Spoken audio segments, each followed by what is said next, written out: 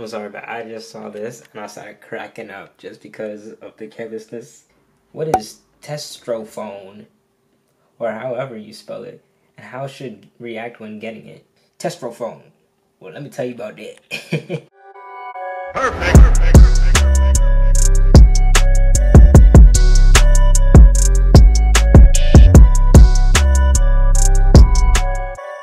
What's going on, beautiful people? Welcome and welcome back to my channel. Today's video i'm gonna be answering your questions. Now there was a lot of questions on both instagram and on youtube so i'm gonna try to comb them out. And let me my hair's my hair's messed it's messed up so let me, let me do y'all some justice. Anyways were you ever were you ever bullied by other guys at school if so, how did you deal with that? Um, I kind of mentioned this uh, a little bit in my last video, but it was more towards the Boys and Girls Club. But in, with school, no, not really. Um, the school that I go to is uh, like an hour away from my actual uh, city, so it's a smaller town, um, and those kids there they're more of a community because it's like everybody knows each other. They're right next door, so everyone kind of knew like like everyone knows who I am and I know who everyone else is. So when I came out, it wasn't a surprise to anyone. So people kind of already figured that that was going to be the motions I was heading into, the path I was heading to. Um, so and people if they were bullying me, it was never confrontational, so I wouldn't have known about it. And people know better than to confront me because I'm just saying that I'm a Scorpio. So, yeah. And that was also someone else's question, but just so y'all know, Scorpio. Uh, do you still get periods or cramps? No, I don't. Um, yeah, so I started my period maybe like 14 13, maybe 14. Uh, and obviously, terrible, terrible. I ain't even gonna go in depth for that because that those are the moments in life that you just don't want to relive. And I commend all you females for having to go through it your entire lives because it's and this is different for everybody, but for me, I believe um, two weeks after I started testosterone, I, I believe I this is just to my recollection it was completely gone. Like I haven't had it since, and obviously because the hormonal imbalance and stuff. Have you ever experienced dating the opposite biological gender? So, when I was female, have I ever dated someone that was male? No. I've always held true to myself. My mind has always um, been very uh, direct in the things that I want. So when it was even brought up. I shut the whole operation down. There was no like convincing me otherwise. So I've always gone after females. So when I asked, do you still, do you want to still be a girl?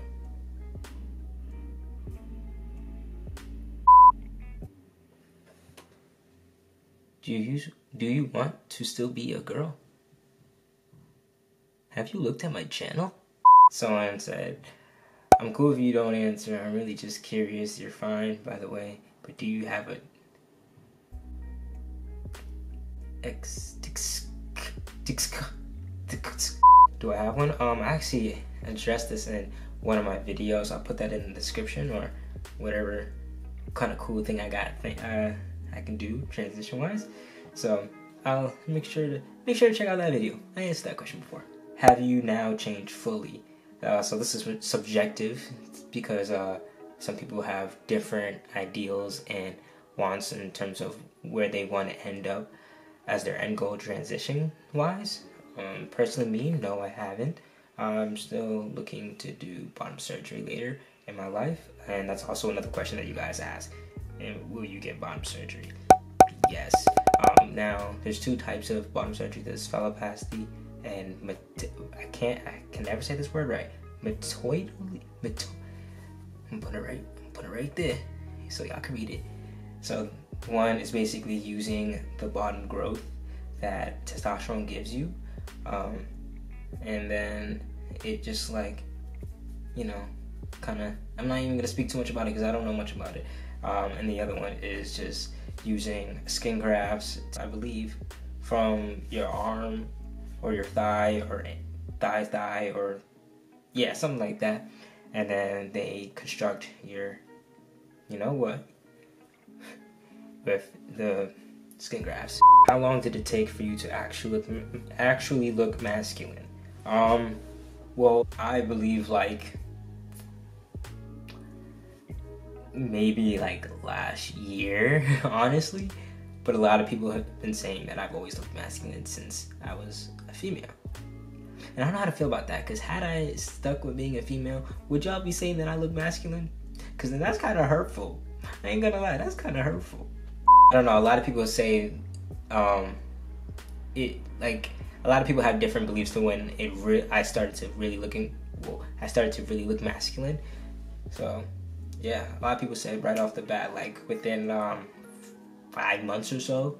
Um, others said like a year. Some people would say three. So it's really up to your opinion. Um, what was your name when you were younger as a female? Um, it was Nia. Actually, really love the name uh, Nia. My uh, parents they thought of the name from uh, Nia Long. If you guys don't know who Nia Long is, then you guys are uncultured or too young. I just want to say that one or the other. It's no in between. So, and then my middle name was Sade uh, which is actually from Sade Adu. If you guys don't know her, then again, too young or uncultured, no in between. Real quick, while I'm editing, I realized, like I completely forgot, but I realized that Sade Adu actually has a transgender son. So, just want to say, this could be completely coincidental, God don't make no mistakes, and He made me. He made me Nia Sade there for a reason. It just so happens that Sade Adu's son is transgender. What are the odds? What are the odds? Alright, I'm gonna go back to editing. Is and also my aunt's name is Sade, so it was just like so Nia Sade year. I'm probably gonna name my child that. How old were you when you started to dress like your true self, a man? Um, always did.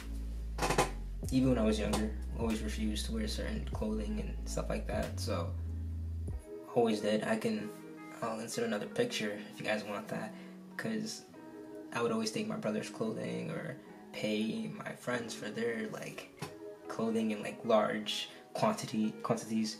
So yeah, sorry for asking. When did your mustache grow in? Honestly, you guys, let me give y'all. Don't be scared. I'm sorry, I'm coming close to the camera. Don't be scared. Yeah, ain't too much to look at, but when did it start growing? Late. I'm definitely not as fast as the other guys that are on testosterone, but I'll have to look through some pictures for that. But yeah. While taking a shower, does the scar sting? No. I don't think it ever did sting. No. Were you scared to announce to YouTube that you were a transgender male? No, always taking full pride in who I am and the things that I do. So telling the world about it was just like, what's up? You know, it wasn't a battle. It wasn't um, a hindrance to anything. Wasn't scared. Just embraced it. I, I embraced who I am. I don't understand how you're transgender. You look like a boy and sound like a boy. I don't get it. Now this is amazing uh, drug or medication, however you want to describe it, a steroid um, called testosterone. Right? It is the hormone hormone that are that is biologically given to males, boys, men, etc. Females have estrogen, right? So now it is a natural hormone. If you're female, you have a little bit of testosterone. If you're a male, you have a little bit of estrogen. So now when you take testosterone, right, as a female, biologically born as female, take that testosterone and it raises those uh, hormone levels and then So you got like, so this is your, this is your estrogen level, this is your testosterone. Take it for years, years, years, because like, indirect relationship goes like that, and boom, just like that. You got like that, and then you got like that. Did you ever tell your football coach and also the team, and how did they react? Uh, like I mentioned, we're in a, my school is a small community, so they knew me since like I started going to the school. Um, and I started going to the school when I was in kindergarten. So it's kindergarten, um, elementary, middle school, and then high school. So we're all funneled throughout the same um, school district. So it was nothing new for them to hear. They knew about it. When was the first time you felt that you were different? Um, I mean, I've always felt like I've been a little bit of an oddball just because of my personality and who I am and my mannerisms and stuff like that. But um, I'd probably say when I came to terms with it and I demonstrated the most um, like resistance to my um, my biological identity was in first grade. That's when I um, because like I like I mentioned, my birth name is well, my birth name was Nia, so I'd always refer to myself as Nick. I thought I was clever. You know, if you can get because I spelled the N-I-A for Nia. So if I like twist that A a little bit, like keep it as an A, but then like see it a little bit, and then put the K like that, because you know it's kind of like an A a little bit, and then like put put a tiny two tiny little stems for that K. I was set. I was set and content. How does your male friends feel about you being transgender? Quite frankly, all of my friends across the board, even the people that I encountered that didn't know that I was trans, all say the same thing in consensus that they they literally either don't even notice, they forget, or it hasn't even dawned on them at any point in our friendship. Um, honestly, because it's only a tiny segment of who I am as a person. So when like when I make these YouTube videos, um, first of all, I just want to say majority of my friends don't even watch my YouTube videos because they don't want to hear everything like 20 times. But whenever I post something on my YouTube videos and it, you know, a lot of people comment and stuff like that, and I mention it, they go, "Oh yeah, I forgot you were trans," and I'm just like, "Me too." How do you cope with things? How do you cope with negative things people say about you being trans? Good comments come, bad comments come I just deal with it just like how it is. If someone says something derogatory or rude or snarky or whatever, I let them take benefit of the doubt. They're completely entitled to whatever they want to say. If I was to if I was to believe in someone else's opinion of me, what does that say about me? I know myself the best and I always know that I need to be better to everyone else than how they are because then I win in the end. So that's my answer to that. Hopefully that helps you. Some some of the things I can even crack a smile or laugh at because you know people are fools. so no, you don't always have to be too serious or super sensitive about the things that people say because you know people say the darndest things, and I'm pretty sure every, like you have, I have, so whatever doesn't define you. Have you ever felt uncomfortable changing around your teammates? That's a good question. Uh, so a hundred percent, uh, for lots of reasons. Um, one, when I was playing football, I did not have top surgery yet, so there was obviously limitations into how much I was willing to expose. I mean, I was I always chose the lockers more towards the back end, and since everyone literally forgets that I'm trans, they don't even like it doesn't come across their mind at all that I still have a biological difference. So maneuvering, going to the the stall when I when I could to change up there and try to be fast and run up to the field because at the end of the day when it was any anything regarding football practice games and stuff like that that was always at the forefront of our minds no one was caring caring remotely to what I looked like what I was doing or even had the time for bullying me because my school were very like football. Like we, that's our passion, right? So everyone is more so focused on themselves or trying to better someone, help better someone else on the field. and so yeah.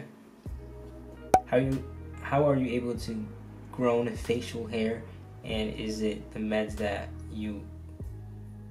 So yes. it was the testosterone injections and i wanted to clarify this because people ask or people just assume or people say i take pills. Hold on.